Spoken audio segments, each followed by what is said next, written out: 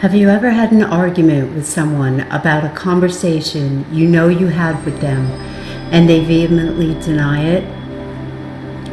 Or what about distinct memories or recollections of events, cliches, television shows, places, people, only to Google them and find out that what you thought you knew was different than it is today?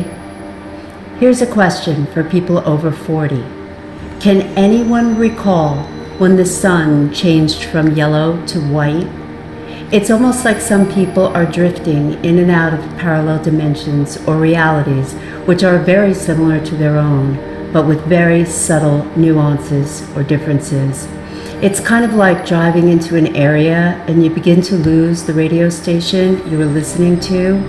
It doesn't go away completely, but you start picking up another station on the dial because it's very close to the broadcast frequency of the station you were tu- tuned to, and now you're getting both stations on the same channel. Move the tuner a little to the right, and the first station comes in. Move the tuner a little to the left, and the second station comes in. Both of these stations are broadcasting in the airway simultaneously but you have to have your radio tuned to the proper frequency to be able to decode them. Is something similar happening to our reality?